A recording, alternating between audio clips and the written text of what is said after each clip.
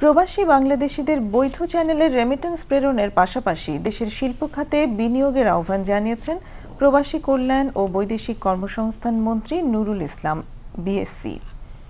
তিনি আজ রাজধানীর অ্যাবাকাস কনভেনশন সেন্টারে দু হাজার ষোলো সালের জন্য নির্বাচিত সিআইপিদের সম্মাননা প্রদান অনুষ্ঠানে এই আহ্বান জানান। প্রবাসী কল্যাণ ও বৈদেশিক কর্মসংস্থান মন্ত্রণালয়ের সচিব ডক্টর নমিতা হালদারের সভাপতিত্বে অনুষ্ঠানে অন্যান্যের মধ্যে পররাষ্ট্র প্রতিমন্ত্রী মোহাম্মদ শাহরিয়ার আলম এবং প্রবাসী কল্যাণ ও বৈদেশিক কর্মসংস্থান মন্ত্রণালয়ের অতিরিক্ত সচিব মোহাম্মদ আমিনুল ইসলাম উপস্থিত ছিলেন।